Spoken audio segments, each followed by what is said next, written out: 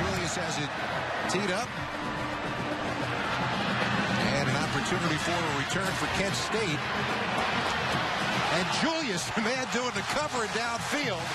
Oh, that's a kicker's dream right there. Crowd is going crazy because the kicker made the play. That's right. That, I'm a football player. That's right. He'll be a legend forever. Take a commanding lead. Peppers short. Lewis a little deeper. They kick it to Lewis at the five. Lewis gets crunched. Man, and it was the kicker who made the hit. he loves to cover his own kicks. Now, he may be second guessing that decision. Oh, he might have knocked the wind out of himself. Number nine, look at him. That's the kicker. Ooh, jeez.